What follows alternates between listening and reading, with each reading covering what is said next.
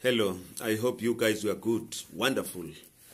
Uh, since we started Uthando Nesithembu, I have received a lot of interest and inquiries from different people, especially young people with great talent and a great zeal. You know, they, they are full of inspiration. They've got brilliant ideas. They want to do more. They want to succeed in life. They want to get into a space of TV as well. And they've come up with all these beautiful ideas and they, have, they are full of energy and ambition. So they always interact with me and ask me how did I make I made it, you know, to this to this um, level. Uh, I remember at some point I was approached by a young girl who, who had a passion about a, a, a particular idea that she wanted so bad that this idea should be heard by someone up there and that particular person takes it and and and give it an opportunity within the space of, of, of a TV. Uh, I I remember telling her that as much as all ideas are, are beautiful, but I was surprised and, and shocked when I got an opportunity to present or pitch my, my story on TV that what you might think would work might not work because TV sometimes works differently. Uh, TV, you might have an, a noble idea, an idea that uh, you you know that can change people's life, can change the society, can influence people, can make people uh, people better, better.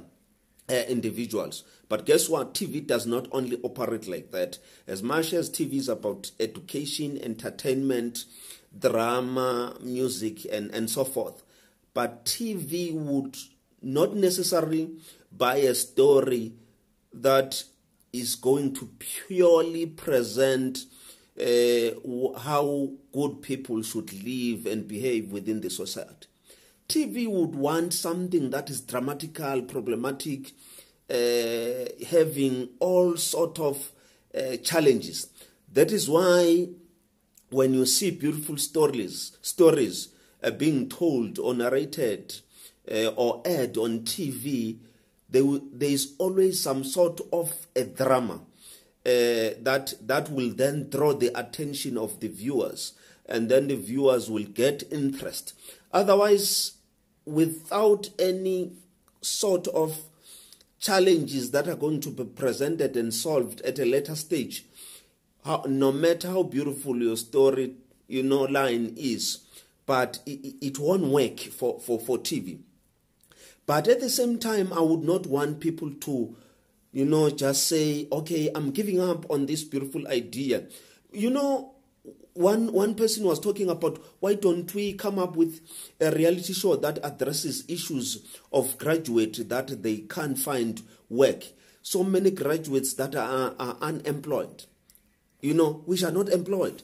But tv would say uh, we can look at that but there's no drama there. What what sort of uh, interest that will make people to be glued on their screens?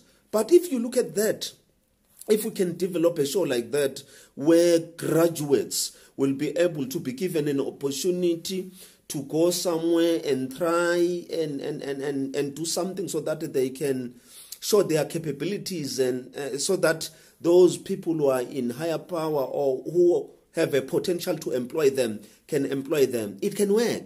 But I'm, I'm, I'm saying i want to say to you because i have seen most of you they have so much passion and interest to be in the space of television industry.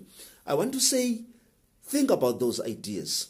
Don't give up on them but fine tune them in such a way that they will draw the attention and the interest of those people who are in higher power. Once we are able to demonstrate that this is a brilliant idea which can bring so much viewership uh, on your television channel, let me tell you, they will listen to it. But at the same time, you must be able to have a correspondence between you and them so that you can also protect your idea. Because there's so much. One lady came to me as well, uh, together with a young boy, and said, You know, I'm, I'm, I'm so disappointed. I presented my, my story in this particular channel, the next thing I saw, I saw the very same story being told by someone else. And I knew that was my story. You know, that is the sad part because sometimes we are not able. When we are young, we are at a fragile stage where you, you do not know how to walk and protect your idea. Yet, your idea is so valuable. Uh, you can end up sometimes sharing your ideas with people who have no interest at all to assist you, but just to steal your ideas because they have power, money, and opportunities. They will steal your idea and present it as if it's theirs. So I'm simply saying there's so much that we need to learn, but we must never lose courage. We must never lose hope. We must make sure that we, we, we, we persist and make sure that we win it. And I want to encourage you, young people that want to be in the space of TV.